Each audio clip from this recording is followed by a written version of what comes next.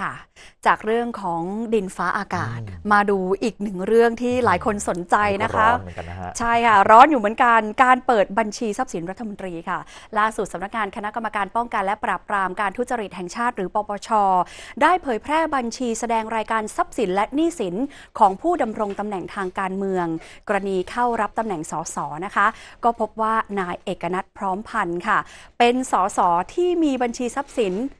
เรียกว่า มากที่สุดเลยไหมคะพี่ประเทศ พันล้านนะนะฮะโอ้โห ก็ถือว่ามากที่สุดจริง ๆ แล้วล่ะใช่นะครับค่ะ คุณผู้ชมคะขณะที่ 3สสที่เป็นรัฐมนตรีค่ะ มีทรัพย์สินหลายสิบล้านบาทค่ะ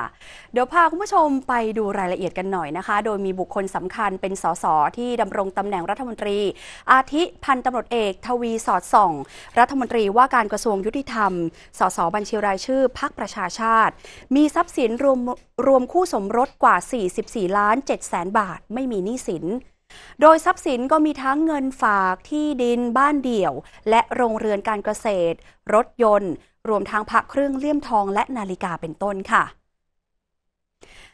ท่านต่อมานะคะ นายจุลพันธ์อมรวิวัฒรัฐมนตรีช่วยว่าการกระทรวงการคลัง สสหนองบัวลำพูพักเพื่อไทย มีทรัพย์สินรวมคู่สมรสและบุตรกว่า 98 ล้านบาท มีหนี้สินกว่า 1 0 0 0 0แสน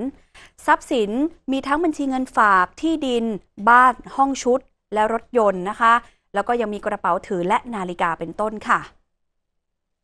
ท่านต่อไปนะคะ นายชยาพรมมารัฐมนตรีช่วยว่าการกระทรวงเกษตรและสหกรณ์ สสเชียงใหม่พักเพื่อไทย มีทรัพย์สินรวมคู่สมรสกว่า 45 ล้านบาท มีหนี้สินกว่า 2 ล้านบาท ทรัพย์สินก็มีเงินฝากที่ดินโรงเรือและสิ่งปลูกสร้าง ยานพาหนะ เครื่องประดับประเภทสร้อยคอทองคำและเครื่องประดับเพชรเป็นต้นค่ะคราวนี้เปลี่ยนไปดู รองประธานสภาผู้แทนราษฎรคนที่2กันต่อนะครับ ท่านพิเชษเชื้อเมืองผ่าน สสเชียงรายครับพักเพื่อไทย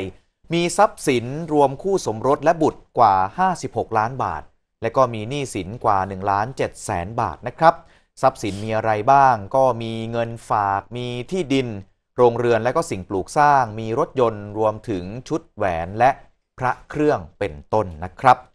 ต่อกันที่สสอีสานกันบ้างครับ นายอดิศรเพียงเกตประธานวิปรัฐบาล สสบัญชีรายชื่อจากพรรคเพื่อไทยครับ ท่านมีทรัพย์สินรวมคู่สมรสและก็บุตรกว่า 13 ล้านบาท ไม่มีหนี้สินนะครับ ทรัพย์สินมีอะไรบ้าง ก็มีทั้งเงินสด เงินฝากที่ดิน โรงเรือนและสิ่งปลูกสร้าง บ้านพัก ห้องชุด ยานพาหนะ และนาฬิกาครับค่ะส่วนผู้ที่มีตำแหน่งสสอย่างเดียว พบว่านายเอกนัทพร้อมพันธ์สสพักรวมไทยสร้างชาติ มีทรัพย์สินมากที่สุดนะคะ ถึงกว่า 1,192 ล้านบาท ซึ่งทรัพย์สินเนี่ยก็ประกอบไปด้วยเงินฝากเงินลงทุน เป็นผู้ถือหุ้น 4 บริษัท มีเงินให้กู้ยืมกว่า 327 ล้านบาท ซึ่งเป็นการปล่อยเงินกู้ให้กับ 3 บริษัทมีที่ดินรวมมูลค่ากว่า 724 ล้านบาท ซึ่งเป็นที่ดินในจังหวัดเพชรบูรณ์ พระนครศรีอยุธยา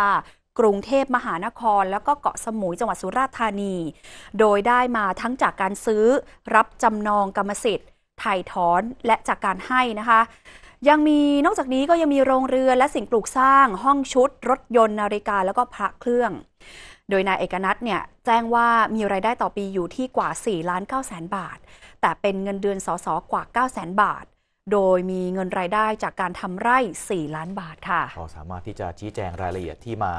ของทรัพย์สินและรายได้อย่างชัดเจนนะครับ ก็เป็นไปตามระเบียบของทางปปชแหละครับค่ะที่จะมีการออกมาแสดงบัญชี